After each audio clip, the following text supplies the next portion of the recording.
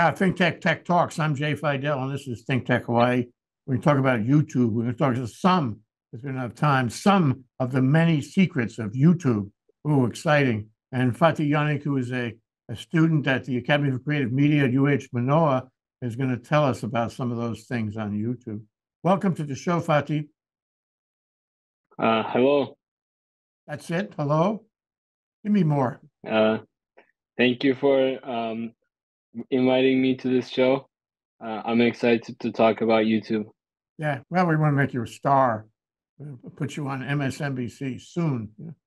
Okay, YouTube. What what is YouTube, and what should somebody who doesn't know anything about YouTube know about YouTube?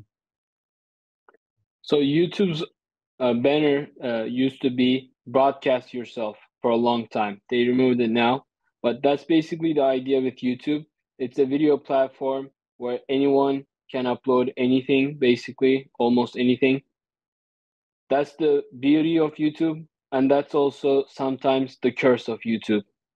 Because when anyone has the ability to upload, sometimes the wrong things get uploaded. Um, but in general, I like YouTube a lot, and the new generation, I would say, are watching YouTube more than they watch t- traditional TV and traditional media. Yeah, I, actually, I I'm writing a little piece, a little uh, stories of Think Tech blog about uh, about YouTube in the sense that if you have a, for example, a Samsung Smart TV, and you go onto the Smart TV mode um, of the TV, and you will see a YouTube uh, icon there. You can go directly to YouTube from your smart TV. Uh, I always wondered when they were going to do that. It's like a blessing because it means that Think Tech uh, can put, we don't have to put it there, it's already there, all its content um, on a smart TV. And, you know, you can have your big TV, you can watch it, great video, great sound, you know, it's better than a, you know, than a 17 inch monitor for sure.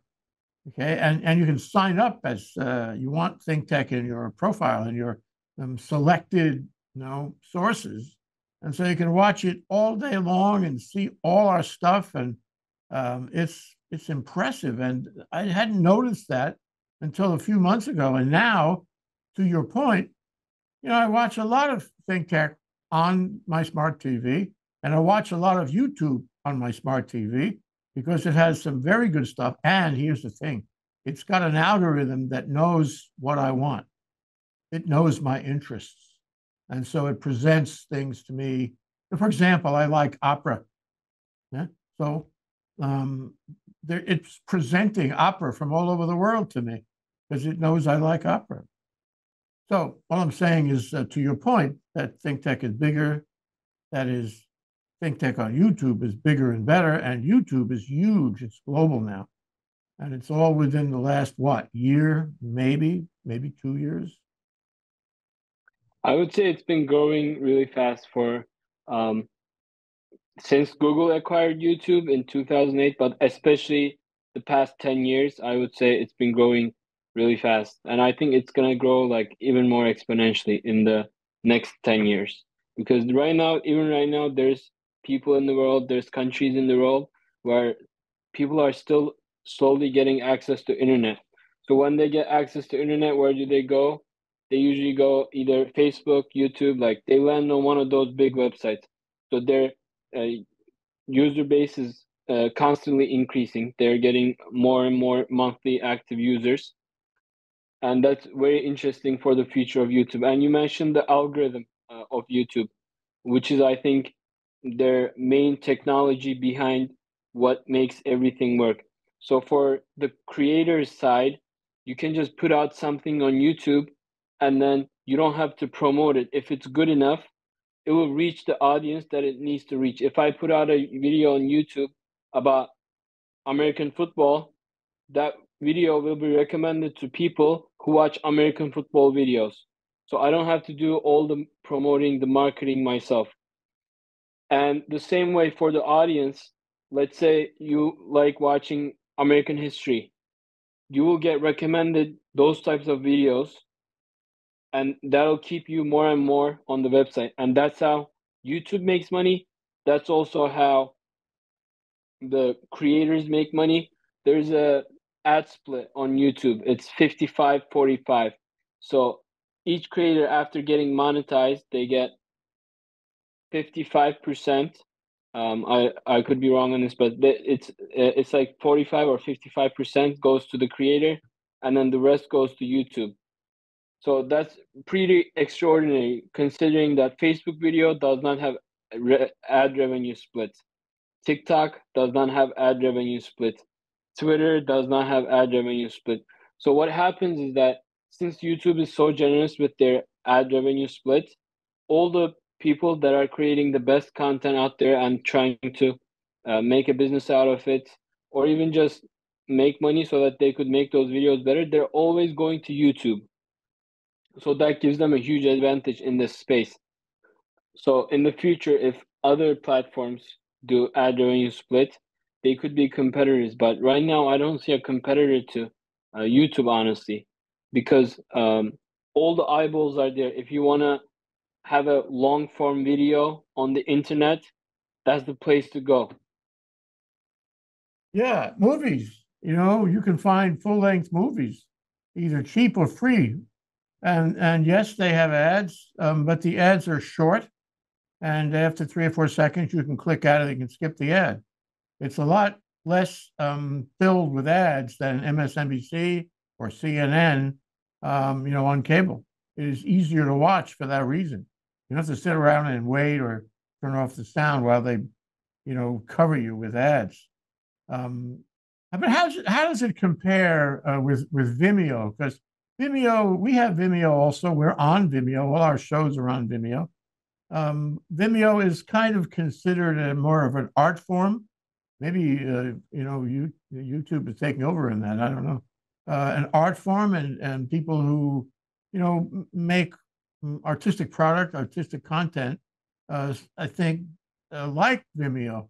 But what's what's what are the considerations about choosing Vimeo or YouTube or both? So I would say from the both from the audience perspective and the creator's perspective, one of the biggest considerations is are you going to be able to find either the audience or are you going to be able to find the content? And when it comes to that, right now there's nothing that can beat YouTube uh, because if you look at how uh, you could look at the statistics on how many hours of footage is uploaded to Vimeo every minute and compare that to YouTube, I can assure you it's going to be like hundreds of thousands of times more on YouTube. So that's one thing. And before people used to say like, um, Vimeo is gonna compete with YouTube. Vimeo is gonna um, go over YouTube, uh, but I don't see that happening. Like right now, Vimeo has become kind of like artist slash like filmmakers place where people put their films there, um, and that's sometimes they get noticed by producers, whatever but I don't see them having the same amount of eyeballs. And that also has a lot to do with Google acquiring YouTube in 2008. Since Google acquired YouTube, when you search something up on Google, you sometimes get uh, YouTube results, even when you search on Google. So that's a huge advantage that YouTube has in terms of how much clicks they're getting since they're affiliated with Google. Hmm. So I don't oh, see Vimeo hmm. competing. Interesting. Uh, so, um, what are the downsides? What are the downsides of YouTube? I mean, it, it's um, you know a huge organization. Google is, uh, oh God, you Google is so big and powerful. Google, whoa, they do what they want, and um, you know they have control of the marketplace more and more. And everybody says that they have all the data on all of us individually, more than Facebook or Twitter or anybody um, they're they're really overpowering.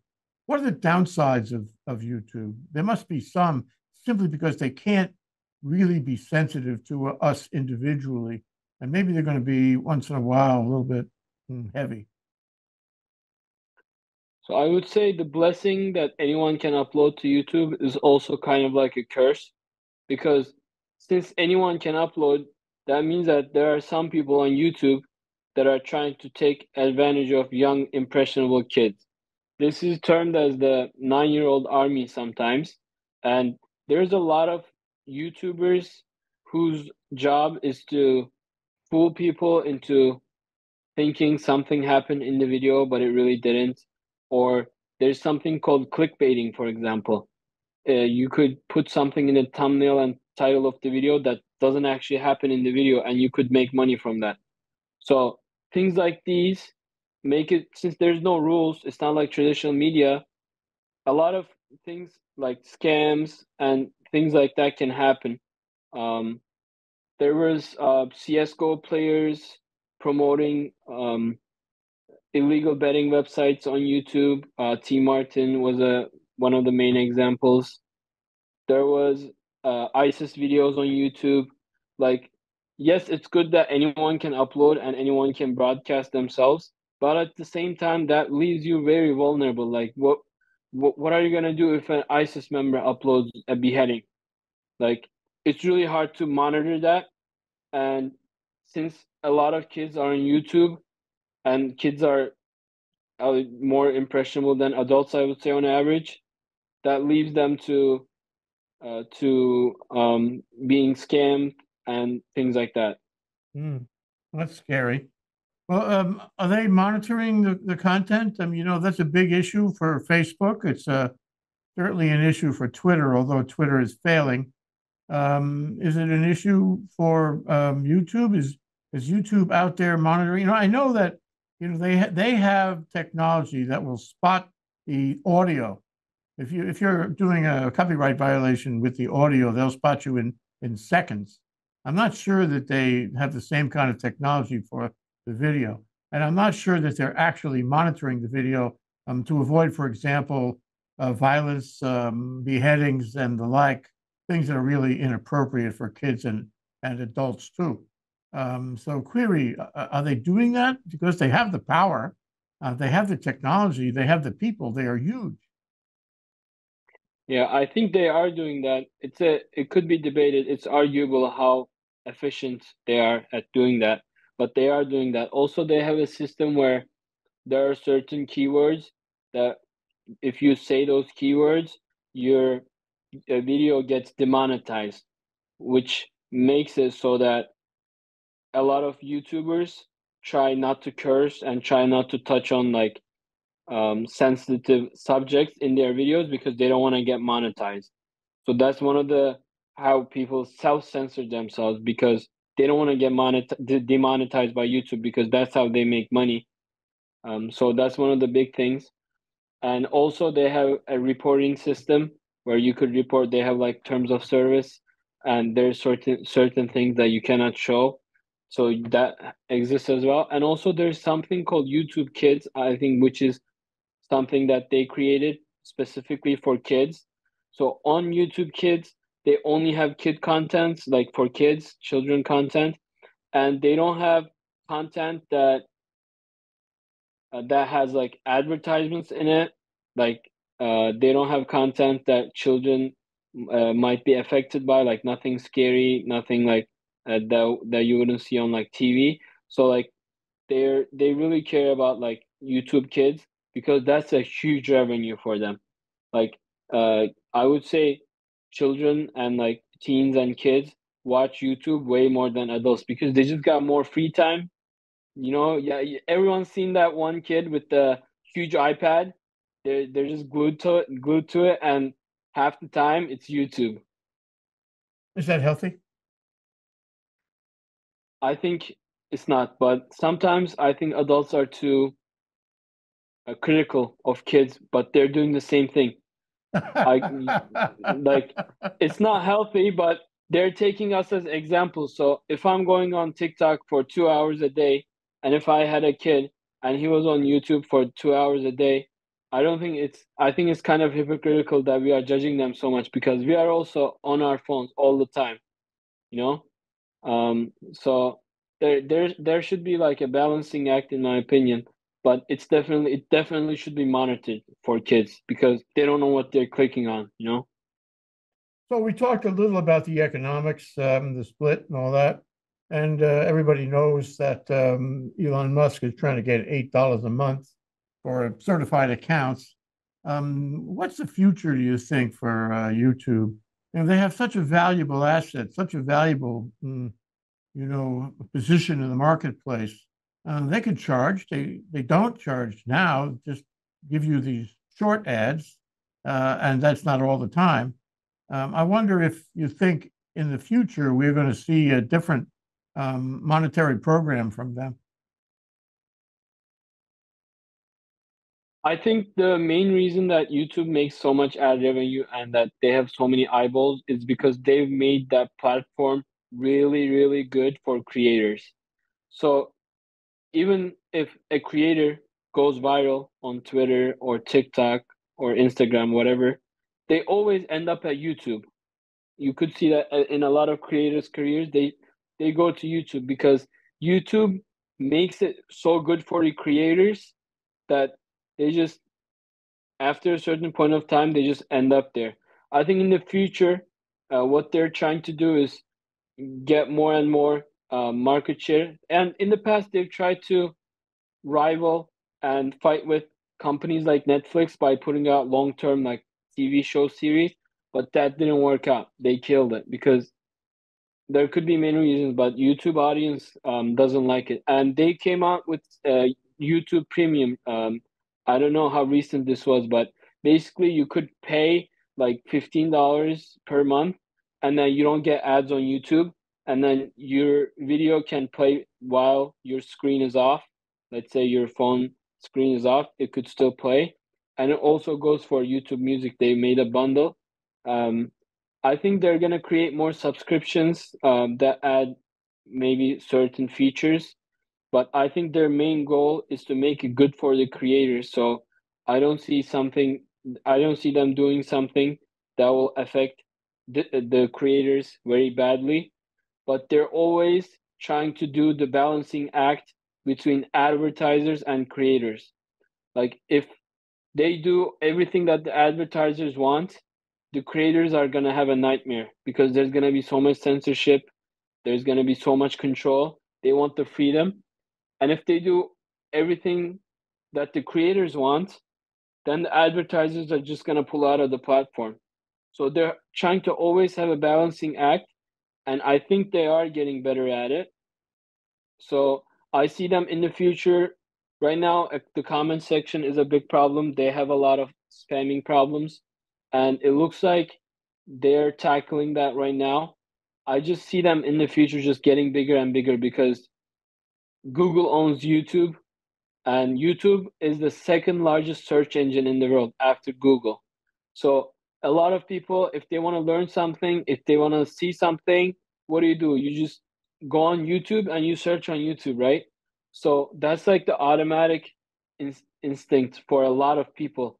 So if that's the case i don't see them ever going down um. Yeah so they might stay the same way and maybe maybe play with the split a little bit and do that balancing act you're talking about but uh, hopefully they won't start charging us because because we, we would pay. We would pay. Um, you know, just you know, viewers would pay, wouldn't they? I think for YouTube, I don't think people would pay to watch YouTube because that's the whole point. That's why they're getting so many hits because it's free. Anyone can watch anything. And the fact that it's free makes it so that you can go viral on YouTube.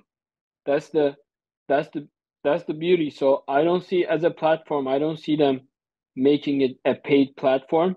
But as I said, YouTube Premium, like things like that, like if they add features, extra things, they might charge for those, I think. But I don't think YouTube would survive if they made it um like pay to watch because there's so many other platforms like Netflix, Hulu, Disney Plus they have like professional filmmakers and directors and editors working on their stuff and making it like really good but they're paid sites. So all the people that don't want to pay for entertainment go to youtube. Mm. so then if they that's that's that's why they have so many eyeballs. So if they do that i don't i don't see them i don't see them doing that because then they would lose all those eyeballs that they have that they're making money from. Mm-hmm. Right now, Netflix is doing a ad supported uh, another plan that's like cheaper, but it, it has ads. So, if anything, the companies might go like the other way, where they're like putting more ads and then or doing plans with ads and then charging less because in so many businesses it's really hard to create a subscription model that can increase your that can have that can house like 80% of your revenue. Subscription models usually 10 to 20% of revenue for a lot of businesses. So in, on the internet you get money basically like most of the money is made from advertisement. And since google is the best at advertising on the internet i think they want people to go there because they want eh, they're going to keep it free i think because they want people to go there because they make money and they make the most amount of money from advertisements You you know, you, you give me the impression that uh, Google is is the and YouTube they're the leaders on this sort of thing, and they're setting the standards. And so anybody who wants to create a subscription is really in, in danger of losing eyeballs. Um, uh, you know, when compared with uh, Google. And for example, I think of Amazon. I'm not sure if Am- Amazon is in the you know the the bundle of uh, products you're talking about, but uh, Amazon, you know, you you pay to join Amazon, you pay to become a member, a Prime member, what have you, in Amazon, and then on top of that, you have to pay for the bloody movies, um, and you know that's enough to irritate you. But it's the other direction completely, isn't it? Uh, is that sustainable? Won't they have to come around and and stop doing that and and and rely on ads or some other model instead of um, charging you for each movie? So Amazon has this thing where like they try to have all the movies on there, but only some of them are included with the Prime subscription. So they're making probably a cut of each movie that you watch or buy from Amazon. It is annoying, but there sometimes it's a lot of the times it's cheaper. Let's say it's on Hulu or whatever. You don't want to buy Hulu and you just want to watch that one movie and you're paying like $3. I think that's a good business plan. But Amazon, for example, recently spent like half a billion dollars on their Lord of the Rings series. And they also spent so much money on buying Thursday Night Football to stream Thursday Night Football exclusively. I think right now they might be at a point where they're subsidizing their Prime Video with their from their other businesses. That's what they have done for a long time with Twitch, which is their live stream platform. And now they're trying to get Twitch to be more profitable. And I think Amazon's model could work because you know everyone has it like their credit cards signed in on the account. And if you want to watch a movie that that's not on Netflix, you just go click on Amazon. It's like three dollars.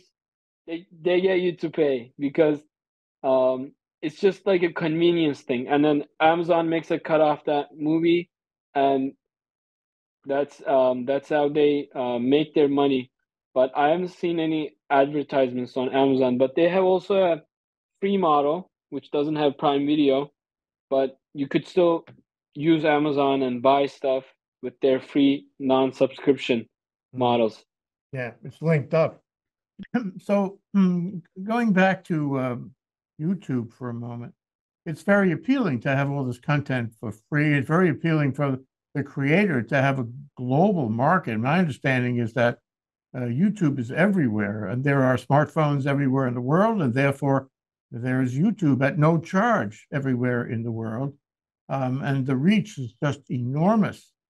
And the question I, I, put to you, and it's a complicated question, I hope we have a little time for it, is um, the creator. How can the creator maximize eyeballs and views um, in those circumstances? You, you know, because although um, YouTube can give you a certain amount of reach by virtue of its algorithms, you know, and its uh, its um, you know its its way of you know extending the content globally.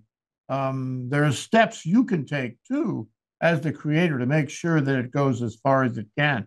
And and part of my question is also is is this something that uh, YouTube wants? Is this something that YouTube encourages? Uh, is this something that YouTube is building new functionality around to enable you to hit millions of views? So right now, I want to give an example from uh, the most subscribed channel on the YouTube. Um, I don't know if you have heard of him, but his name is Mr. Beast.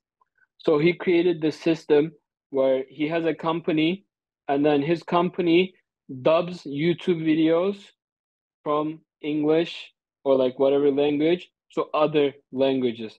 So for example, he made this one video in English, let's say it has 50 million views. He makes the dubbed version, his company makes the dubbed version in Russian, in Spanish, in Arabic, and then he has a Spanish Mr. Beast channel and then Russian Mr. Beast channel, and he uses professional dub uh, recordists and sound performance, and he dubs all of them and uploads them. And now those channels, some of the videos, he has more views than his original English videos. So that's really interesting that he created that company. So now I think a lot of YouTubers will either work with that company, big YouTubers, because big YouTubers have a library of viral content that they would like to make more money out of by dubbing to another language. So I think a lot of people will either use that model, make it in house, and do more work, but get it like more profitable, or they will just use his company, like partner up with his company and do it that way. And I think in the future we're gonna see more and more YouTube videos dubbed to other languages, just like we see movies, just like we see books translated. That's this. I think the same thing's gonna happen with YouTube.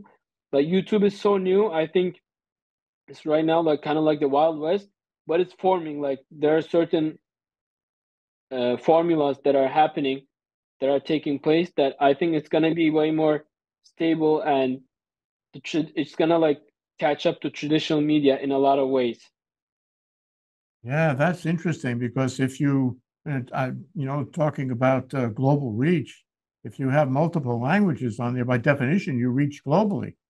Um, so, and, and, and of course, you have to make a deal with him, right? You have to, you have to uh, agree that he will mm, uh, translate your stuff, dub your stuff, and that he will put it under what his name or his channel, uh, and no, he, how does that work? So his company basically, you pay him to dub your videos, and then let's say you have you have a Jay Fidell channel in English, you you create another channel, Jay Fidell Espanol, and then you pay him to dub your videos in your main channel, and then you upload those dubbed videos to your uh, channel in Spanish. So he makes money by dubbing your video because he has a system where people are working on it. Would you do that if you were me? Uh, or would you just put them all on the same channel and have a little button that changes the language? How would you uh, change the language with the little button? I, I don't know. Um, I don't know if you can. In other words, we have a show. Let's say it's this show, okay? And it's it's up on YouTube, and we translate it into Arabic um, and I have a little button somewhere or a link, maybe in the description, you know, under the YouTube description. You want to watch this in Arabic, click the button, and it calls up another link, which is the same show in Arabic. I think that would be not very efficient because someone who doesn't know English and wants to watch the video in Arabic might have a hard time going to the English channel and then clicking on the uh, link that says if you want to watch this in Arabic, click here because they're not going to be on the main channel in the in the English channel in the first place if they don't know English. So I would say creating another challenge could work. But here's the here's the thing.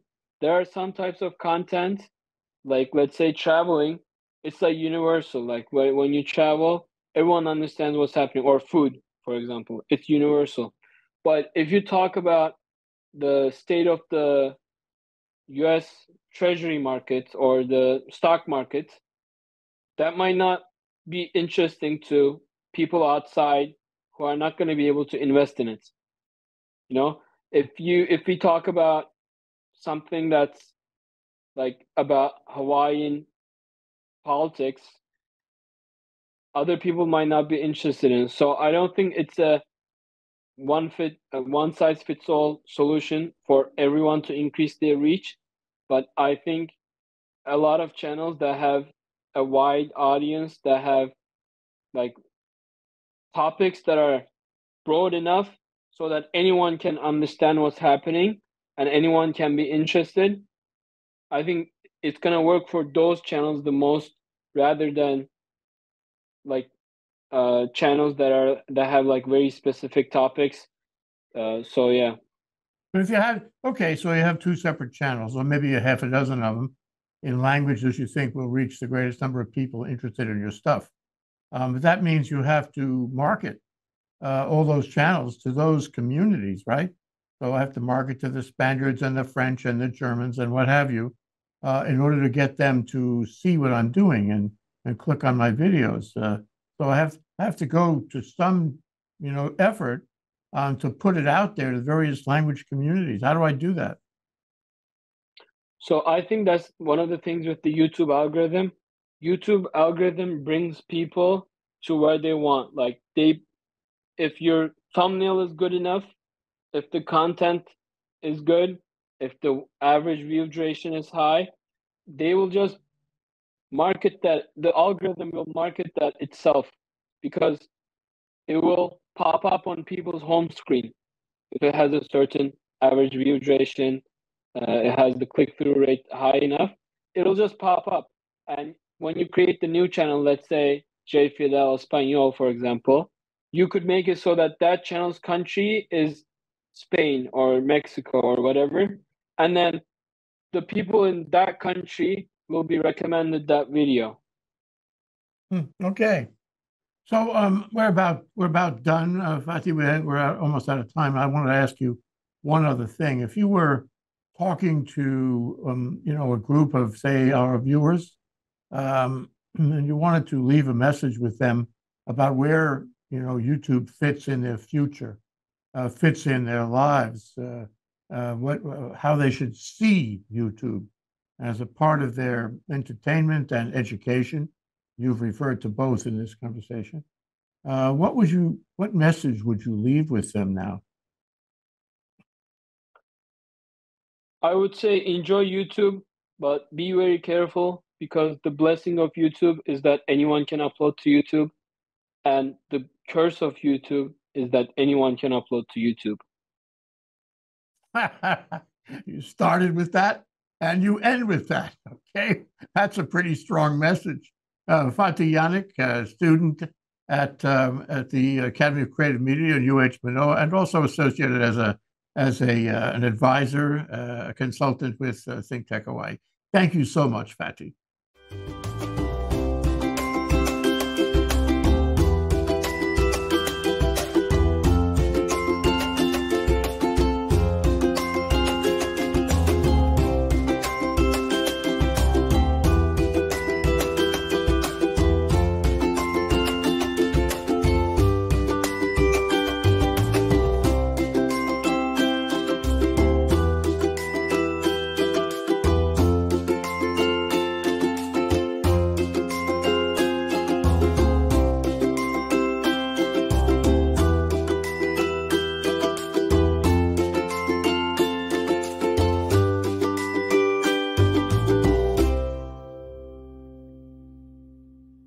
Thank you so much for watching Think Tech Hawaii.